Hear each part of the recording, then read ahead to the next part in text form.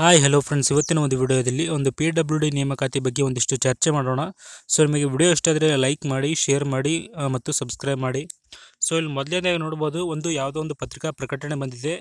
So exam date announce ಮಾಡಿದ್ದಾರೆ ಅಂತೇಳಿ. ನೋಡ್ಬೋದು ಇಲ್ಲಿ ಇಪ್ಪತ್ತೊಂದು, ಹನ್ನೊಂದು, ಎರಡು ಸಾವಿರದ ಇಪ್ಪತ್ತು ಕಡ್ಡಾಯ ಕನ್ನಡ ಅಂತೇಳಿ.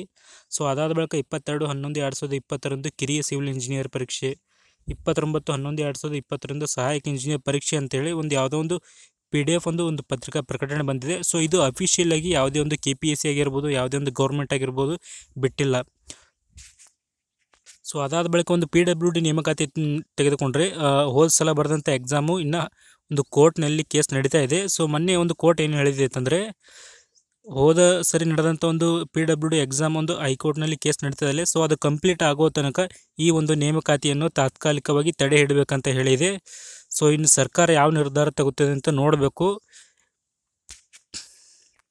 ಸೊ ಒಂದು ವೇಳೆ ಈ ಕೊಟ್ಟಿರುವಂಥ ಡೇಟು ಸರಿಯಾಗಿ ಇದ್ದರೆ ಒಂದು ಪಿ ಡಬ್ಲ್ಯೂ ಡಿ ಎಕ್ಸಾಮಿನ ಹಾಲ್ ಟಿಕೆಟು ಸೋಮವಾರ ಅಥವಾ ಆಲ್ರೆಡಿ ಅಪ್ಲೋಡ್ ಮಾಡಿರಬೇಕಿತ್ತು. ಯಾಕಂದರೆ ಎಕ್ಸಾಮ್ ನಡೆಯೋ ಒಂದು ವಾರಕ್ಕಿಂತ ಮುಂಚೆ ಯಾವುದೇ ಒಂದು ಎಕ್ಸಾಮಿನ ಒಂದು ಹಾಲ್ ಟಿಕೆಟ್ ಬಿಡುಗಡೆ ಮಾಡ್ತಾರೆ.